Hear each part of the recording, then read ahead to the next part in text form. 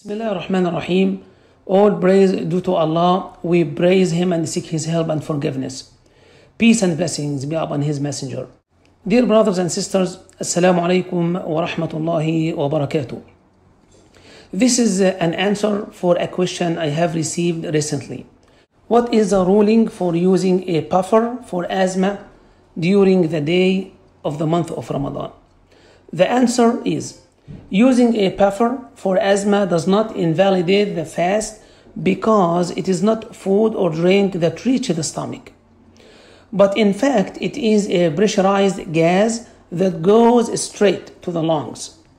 This gas evaporates and does not reach the stomach.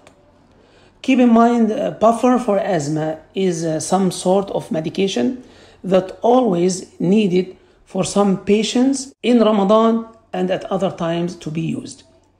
The correct answer is the puffer for asthma in the mouth during the day in Ramadan does not invalidate the fast.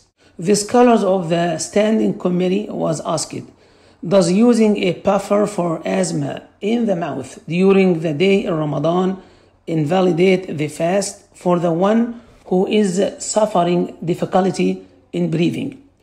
The answer was the asthma medication that the patient inhales reaches the lungs via the trachea and does not reach the stomach.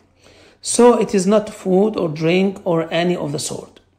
And it seems that the fast is not broken by using this medicine, and Allah knows best.